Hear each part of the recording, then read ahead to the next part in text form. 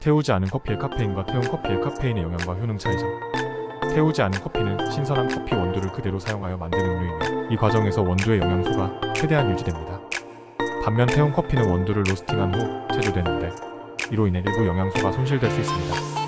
따라서 태우지 않은 커피는 카페인 이외에도 항산화제와 비타민 등 다양한 영양소가 풍부하며 섭취 시 더 많은 영양소를 섭취할 수 있습니다. 또한 태우지 않은 커피는 미치는 효능이 다양합니다. 항산화 효과로 인해 심혈관 질환 예방에 도움을 주고 치매와 파킨슨 병의 위험을 낮출 수 있으며 운동 성능을 향상시키고 간 건강에도 도움을 줄 수 있습니다.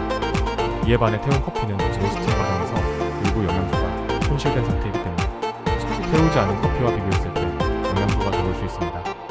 또한 특이한 맛과 향이 나는 일부 음료에 대한 선호도는 물론 소화에 도움을 주는 효능도 있다고 알려져 있습니다.